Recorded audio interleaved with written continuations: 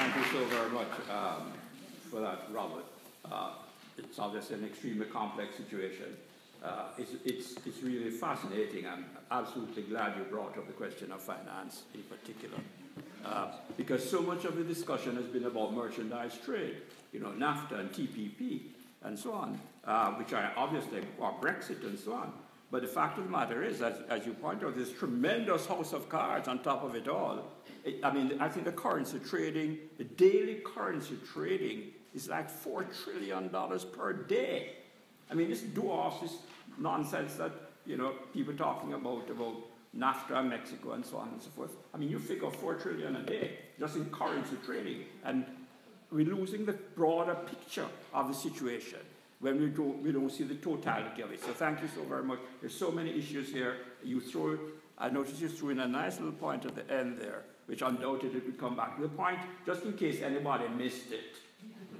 Right? The point, the question as I got it that was raised is whether, from the point of view of the left, we should confine our solutions to tinkering in the market. The question that is raised is whether, from the left, the solution should now begin to contemplate moving beyond the purely market sphere.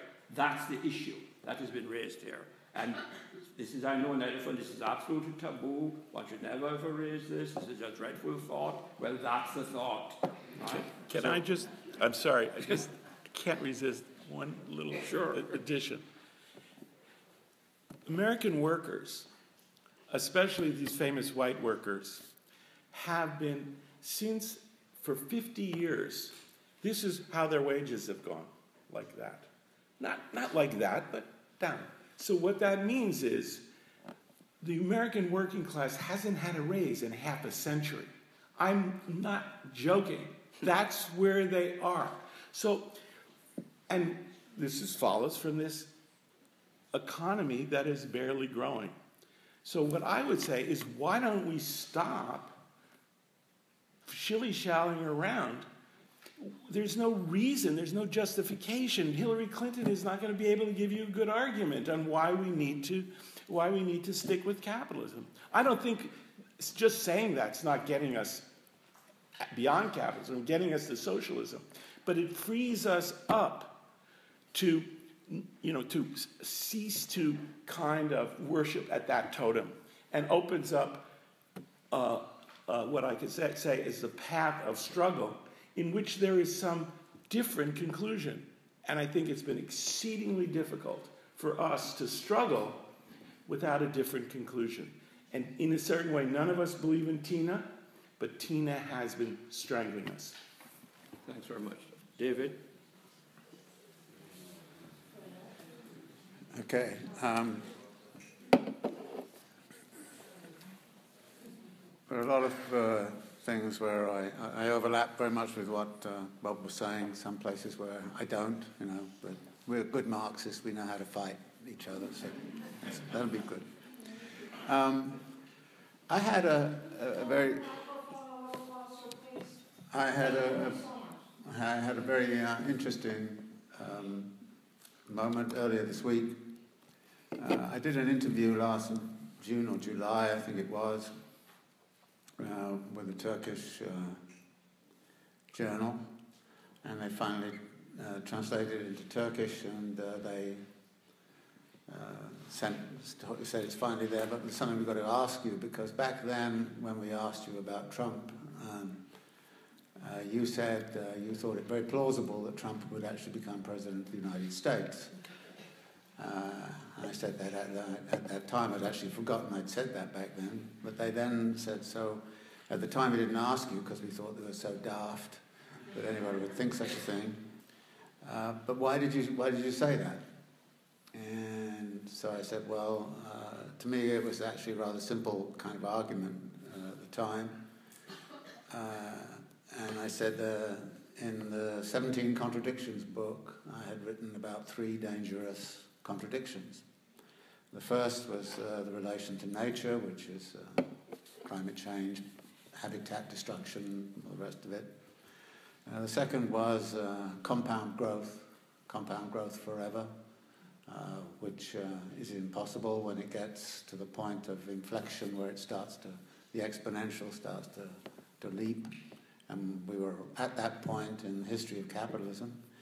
And I said the third is universal alienation. And I said uh, back last summer, if I thought about the kinds of places I visited the kinds of people I talked to and the kinds of things I was hearing, it seemed to me that there was a condition of massive, massive alienation in populations. And uh, the alienation was uh, uh, in relationship to the labour process. There was a poll that came out by Pew about people's satisfaction, and 70% of the people interviewed said they either hated their job or they had no interest in it whatsoever. So it wasn't simply there was no jobs, it was there were no meaningful jobs. So alienation of that sort was there. People were alienated from the political process. Uh, people were, were alienated from what they felt uh, was uh, an excessive regulatory kind of uh, environment. And, you know, the right talks about this, but, uh, but I think all of us, uh, you know, in education, I've been in CUNY for 15 years, and frankly, the amount of bullshit pieces of paper you have to fill out and send back, and little tests you have to take to show that you don't murder people in your office, things like that.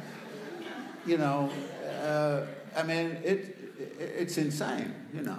And at a certain point, you kind of feel, you know, you know I'm, I'm not alienated in my job. I love being here, but there's all this alienating stuff going on around you all the time, which is, and it's growing, growing.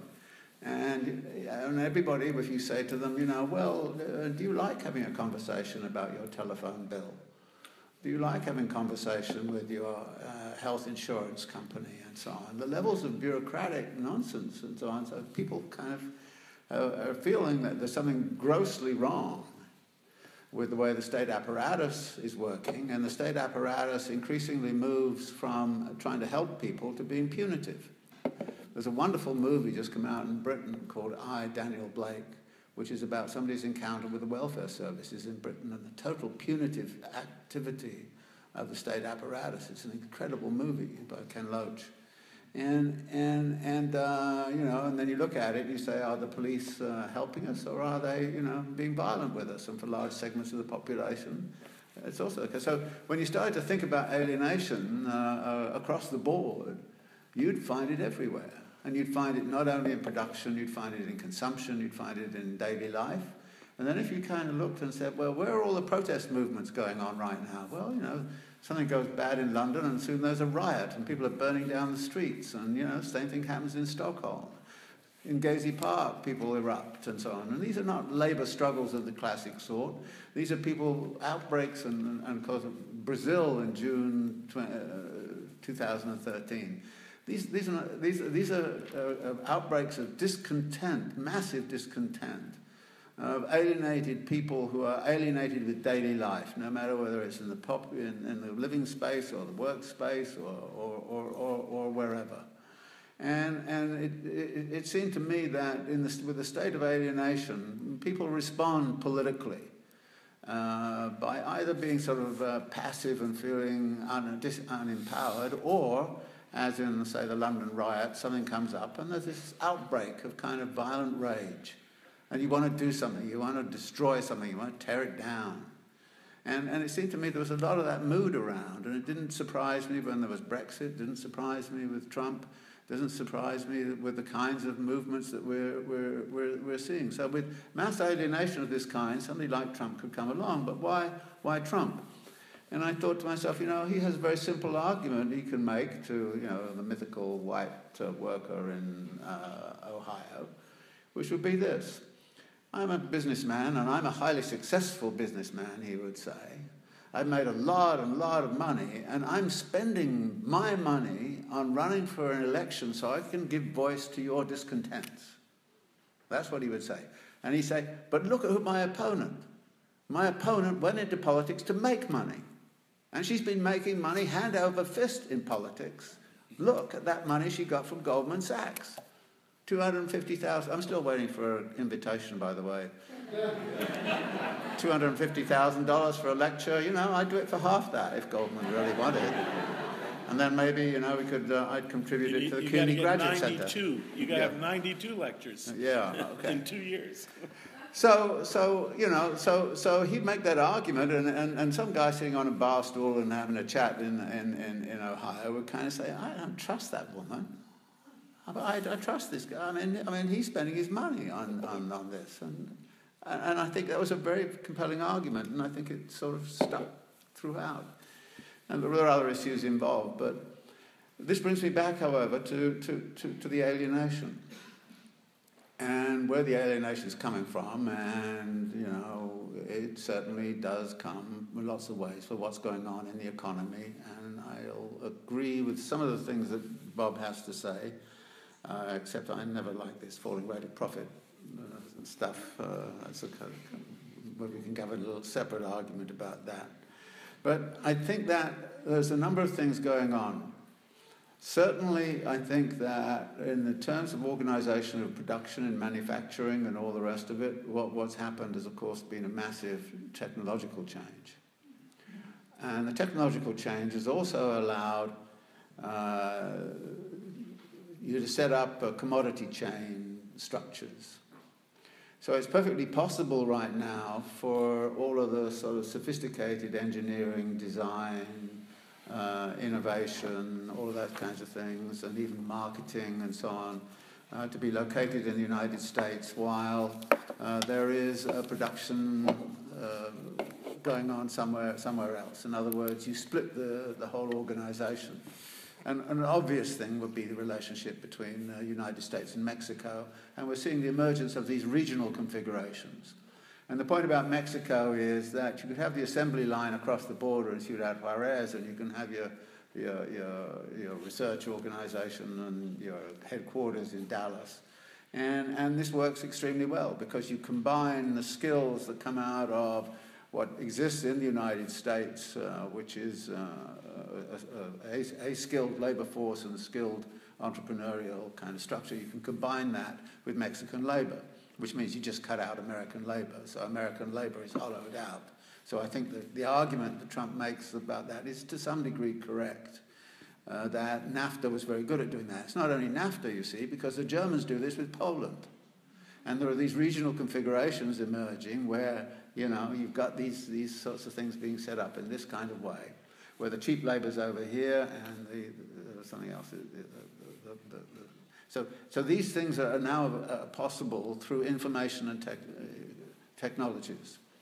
And as we get uh, to even further down the line, uh, to artificial intelligence and all the rest of it, it may be possible to control a production line in Mexico by sitting at your desk in Dallas. And, and so those things are going on, and, and that means there's a very rapid reconfiguration of the global workforce and how the global workforce is being employed and, and the like. And so that uh, privileged workforces that had privileges in the past, uh, when actually the nation state still protected you against, as it were, workforces from other nation states, which existed in the 1960s, that got eroded through neoliberalism. And, and, but now it's got, it got eroded even further through the kinds of technologies that allow uh, for these uh, uh, for these connections uh, uh, to be made. Um, and that, of course, then leads to the fact that you know the jobs do disappear, uh, and and and to some degree, the argument that they all go to Mexico is is, is correct. And so there is a, sort of an interesting way in which you then start to re-ask what NAFTA is about and what the TPP is about. Um, the idea that that was about is about free trade is nonsense. It's about you know try, it's about the United States trying to create a privileged uh, production, marketing, organizational sphere which is antagonistic to China and Europe. In other words, what we're seeing is the regionality, creating a regional configurations uh, of uh, production and organization of production uh, in this way, and what each any big state tries to do is to create something like that when they have this privilege, and, and then they they uh, actually um, uh, benefit immensely from that organization. But the working people don't, of, of the United States don't benefit from it any more than the working people of Germany benefit from, from the sort of organization that exists in the European Union. I mean, it seems to me there's a hegemon, if you want to put it that way, within the European Union, which is Germany. Germany has benefited a great deal from the construction of the Eurozone, and we know perfectly well who has not benefited from it and, and they've had their values sucked dry, as it were, by Germany.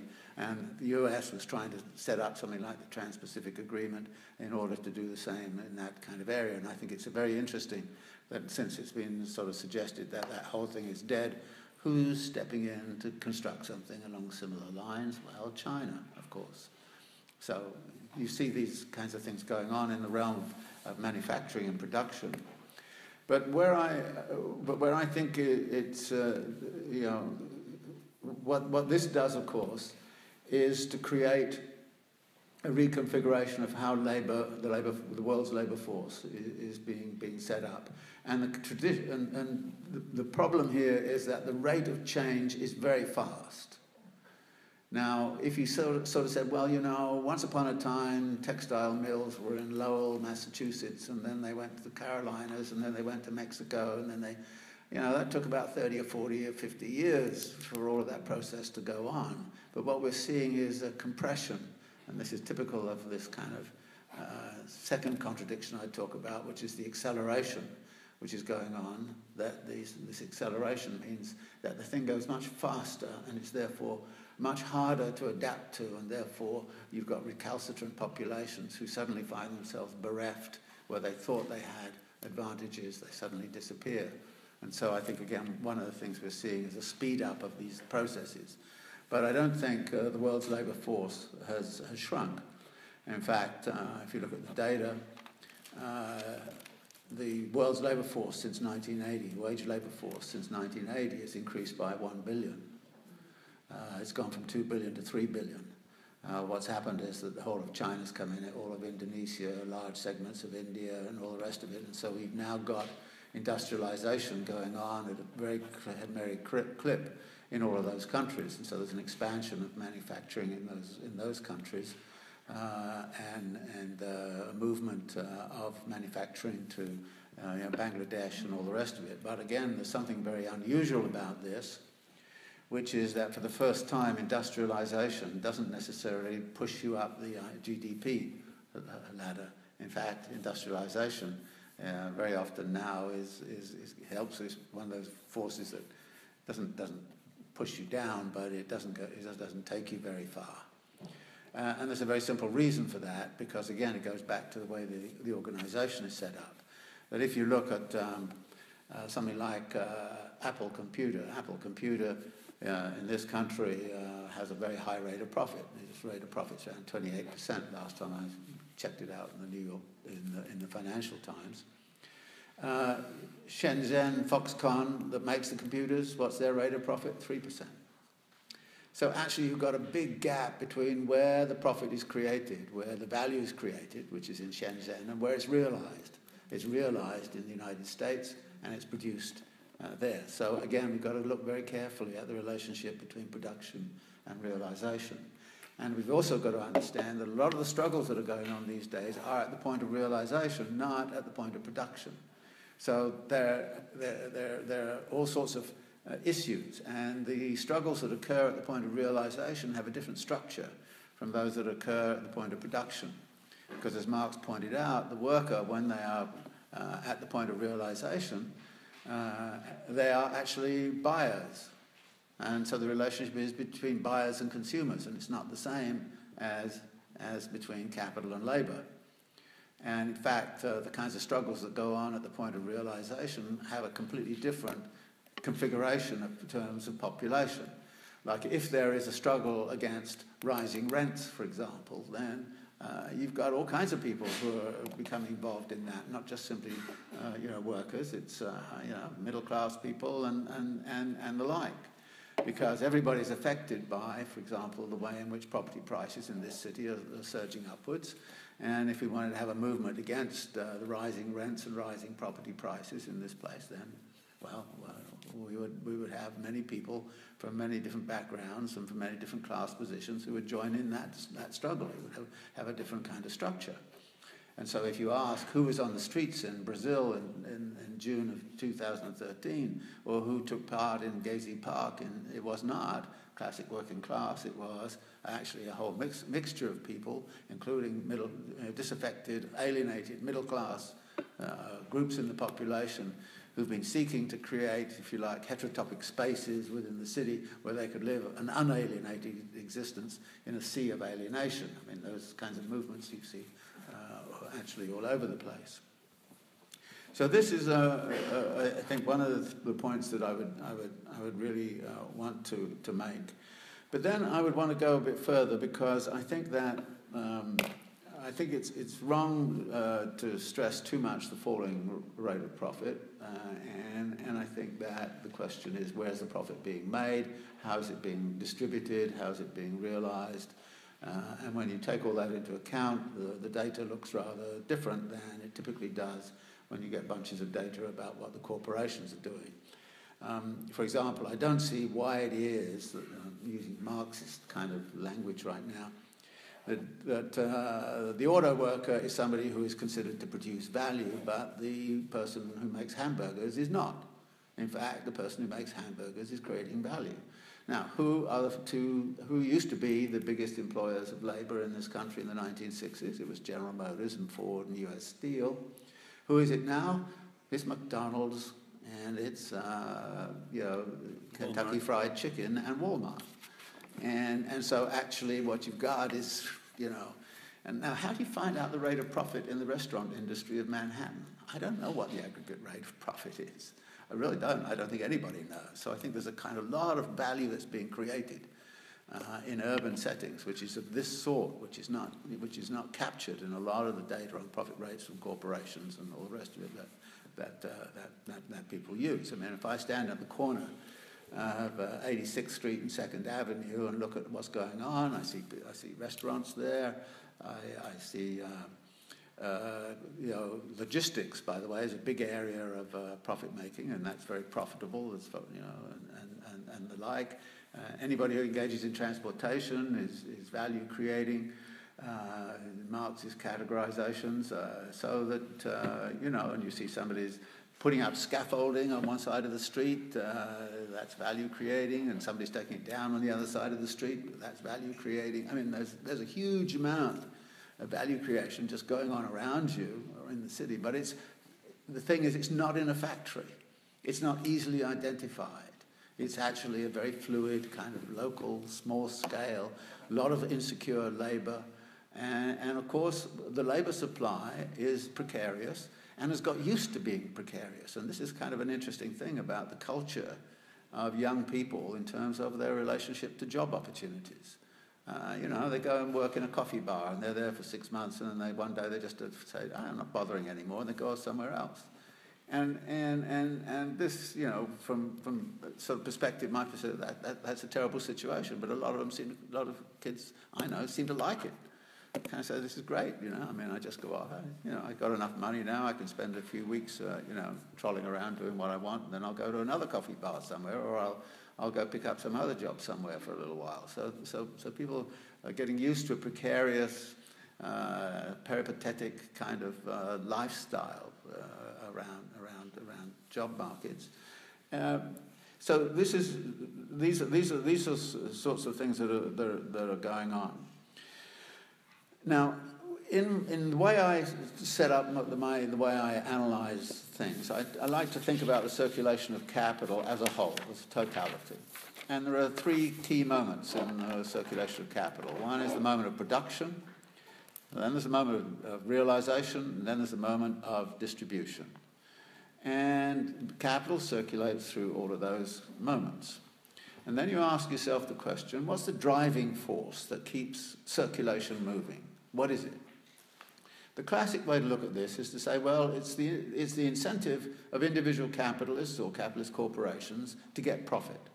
That is, you look at the moment of production, say people go, start with a certain amount of money, Then they end up the day with more money, and they do it by going through production and, and employing labour and getting surplus value out of the labour and extracting value from labour, and they, they get to the point of, of, of realisation. So this is one place where this is one way in which the driver's there, that the capitalist is in there and they're going to push the system because they're, they're profit seeking and, and the like. But what happens if there's no profit there? Well, the answer to that is, as, as, as Bob has pointed out, is the Keynesian solution, is, which is that somebody steps in and says, all right, we'll create the demand so that you can get your profit. And we create that through state expenditures. But where's the state expenditures come from? Well, they're going to have to come out of uh, actually borrowing money, deficit finance, all this kind of thing. So, but you can imagine then that there's, there, there are organizations who are busy sort of pushing the system by creating demand as much as possible. And I think that that is another source, if you like, of the energy that runs into the capital accumulation system. The third source is uh, what occurs at the moment of distribution. A lot of people have surplus money. And at the point of distribution, they want to put that somewhere and they want it to earn something. Uh, so, just to take an example, um, a, a, pension fund. I have a pension fund. I'm in TIAA. And I, I, there's, there's the pension money. And what do I do? Put it in the pension fund and nothing happens to it? No, I expect the pension fund to make some money out of it. So I want TIAA to, to actually push the system. Uh, and, and, and how does it push the system? It goes out and it offers credit to somebody. It, it, it markets debt, if you like, and says, okay, you can borrow money, but I. But what is debt? It's a claim on future labour. It's not a claim on present labour, it's a claim on future labour. And basically, my pension fund in five years' time depends upon the future labour, five years' time, which is being brought back by my pension fund. So there's pension funds, and then there's the stockholders, and then there's the bondholders, and then there's the, the banks themselves who have money. So they're sitting there, and all of them want a rate of return. And they're going to push the system as much as they can. And historically, I'd like to suggest this that initially, yeah, the first, the, the, the capitalist seeking profit was, was, was, was important. In the 1930s, that began to break down, and so you get the Keynesian thing for a while. Right now, Who's the energy behind the whole system? It lies in the field of distribution. That is, it's the people of distribution who are creating the debt, who are actually pushing, therefore. Now, debt has to be redeemed, and it can only be redeemed through some form of activity which is going to, you know, give me my 5% or whatever I expect to get on my pension fund. So, so this redemption of the debt means that value has to be created somewhere else within the system in order to redeem the debt. Now, how is that done? Well, of course, one of the ways in which it can be done is to borrow more debt, in which case you've got a Ponzi scheme. But there's something else which goes on in the debt thing, which I think is terribly important, which is that debt forecloses, and I think the relationship between foreclosure and all of it is important. Debt forecloses the future in certain ways. That is, you are bound some, in some way by the assumption of debt. And as a result of that, this is a form of social control, and it's a key form of social control which most people are suffering under. That is, what is being produced is a society which is based on debt peonage. And everybody, I think, understands that. And the system understands it very well because when, for example, mortgage finance was set up in the 1930s, there's this famous line debt encumbered homeowners don't go on strike. Debt encumbered students, they don't go out there and, you know, create a ruckus. You know. So actually, the whole kind of debt structure is now actually what is uh, completely involved. And there was this wonderful moment, which I always like to go back to, when Clinton won the first election and he sort of was talking about his economic program, and Rubin said, You can't do that. And, and Clinton said, Why not? He said, Well, Wall Street bondholders, etc., won't let you. And you know, Clinton's famous response was, Well, do you mean to say my whole economic program is held hostage to a bunch of fucking bond traders? And Robert Rubin said, Yes. And so Clinton came in promising us universal health care. What did he give us? He gave us NAFTA, he gave us the reform of the welfare as we know it, he gave us a criminal justice system reform, which was uh, highly, uh, you know, it was quite, really quite vicious, and they're, they're uh, eventually repealing Glass-Steagall. So, and that was what the bondholders said. Now, there's a big question mark, right? Who's in charge of the damn system, the politicians or the bondholders? And I think the answer is you look at Greece and all the rest of it, it's the bondholders. The bondholders, and by that I mean my pension fund as well, you know, are, are all part of this.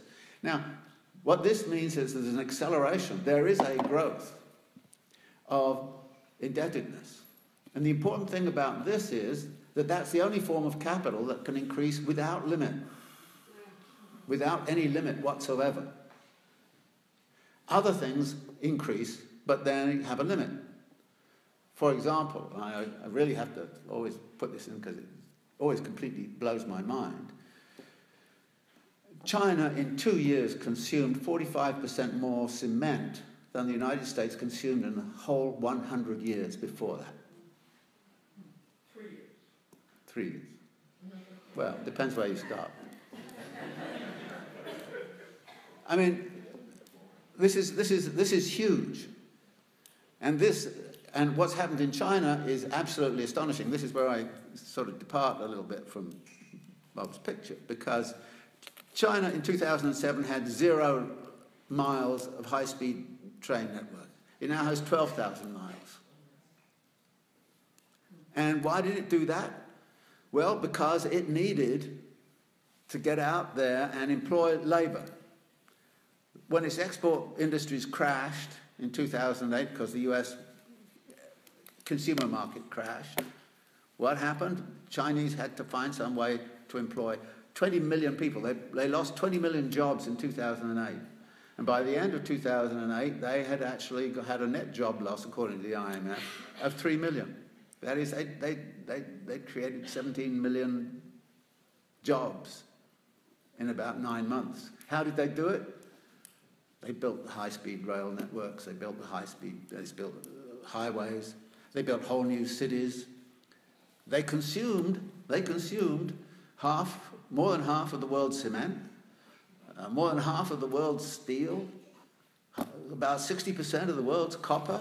During this whole period, commodity prices went up, and those countries that were producing, you know, raw materials for China came out of the 2007 2008 uh, collapse pretty well. Australia came out pretty well. Chile came out very well. Why? Because China said, send us, send us the ore, send us the copper, send us the, you know, the lithium, send us whatever. We need it, we need it, we need it. But there's a limit on how much cement you can damn well consume.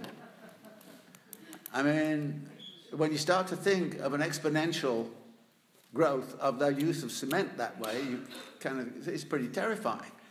But one of the consequences of this was that the Chinese actually went from relatively low debt to GDP ratio to a very high debt to GDP ratio. So they're heavily, heavily in debt. They've gone into the, the, the, the debt creation game. Now, there's, this is, this is, uh, I think probably, I mean, what Bob was getting to at the end. Of, the other side of this bit of paper, you can't see it. This is, this is, the, this is a graph of total debt. Uh, this is, the IMF has just come up with the total debt in the world from, you know, back when. Uh, and, and around 1970, what does it do? It takes off like this, goes crazy like that. It's on an exponential curve. There's a little blip, 2008, where it kind of goes down like this and then jumps up again. This is, this is, this is Ponzi finance in action. This is debt peonage in action. And everybody knows that it's experts in the manipulation of debt peonage who come out with all the money and experts in debt peonage who are going to manage the economy. And it's so fascinating that the two guys that Trump has appointed to, are exactly people in the debt peonage business. What what, what did they do? Where did they get their money from? You know, both of them got it by taking over a lousy bank, you know, evicting people. So this is not a labour problem. This is kind of you're evicting people from the house. You've got the foreclosure stuff. You know, and and nobody kind of checks out a little bit about you know how how many people got foreclosed upon and what impact that had in terms of the alienation of populations from what damn country are we living in that does that? You know. So, so it gets me back to kind of, you know, the, the, the deep discontent with this, with this system. And I think we're going to see a revolt at some point uh, uh, against debt peonage. And I'm surprised in some ways that the student debt thing didn't morph into a massive kind of, kind of movement, but it's actually very difficult to get out of it. For a very simple reason that if you had a moratorium on debt or a jubilee or whatever they would like to say, and therefore you wiped it all out, you'd wipe out my pension fund. so you can't do that. This is what I mean by debt peonage. You are locked in, you've got to support the system, because if you don't support the system, you are screwed. And then they do all kinds of weird, weird things like I actually have, you know, if I took, if, if I took all the money out of my pension fund, or took a large chunk of it out of the pension fund and got rid of my mortgage debt, wouldn't that be a sensible thing to do? Yeah, it'd be a very sensible thing to do, except all of the taxation arrangements and everything else make it almost, you know, uneconomic to do it. So the system gets structured in such a way as to lock us in to debt peonage. And that seems to me to be where the major forms of alienation are coming from. And I think that that is something which is all over Europe and it's everywhere. This seems to me to be something that the state, as it's currently structured, cannot deal with. Because, as Clinton said, they are dependent entirely on the power of the bondholders. And if they go against the power of the bondholders, in the same way, if I go against the power of the bondholders and I you know, lose my pension, the state loses its finance. The state loses its power. So, so here you've got the nexus, what I call a state finance nexus, which is the crucible of power. And that crucible is one which has managed to, with all these tentacles, to lock us in. And the big, big question is how do we get out? And by what forms of social movement can we get out? There are individuals, and I've said there are lots of heterotopic kind of spaces emerging in urban areas where people try and live and say, I'm not going to get into that debt economy, I'm not going to live that way. I'm going to find some other way to live. I'm not going to sort of be, get locked in in all these sorts of ways. But at that point, you have to understand that, that we are the problem as well as them. In other words, it's not just them. We, in terms of what we do and how we do it and why we do it, we are caught in the trap. And until we understand that and say we have to get ourselves out of this trap, then it seems to me we're not going to be able to do anything further than keep on going with this huge Ponzi scheme where debt will be created without limit, money will be created without limit. People will use the circulation process in such a way to extract as much money, wealth, and power as they can. And I think it's very, very emphatically the case that since 2007 2008, almost all of the recovery has actually gone into the pockets of the top 1%. All of the data show that, right? Yep. And and and they're they're you know they're doing fine. And in fact, we have an amazing situation where that capitalist class is doing extremely well, while capital in general is doing very badly.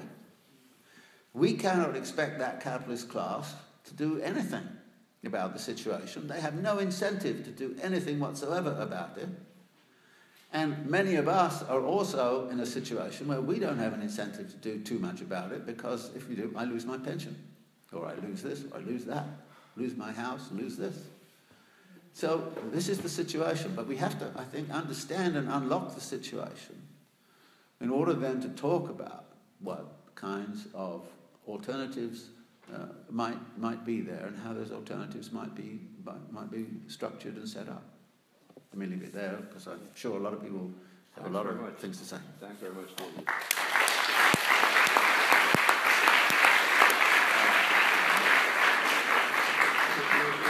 We throw, throw it open to the floor and get questions and comments and raise any.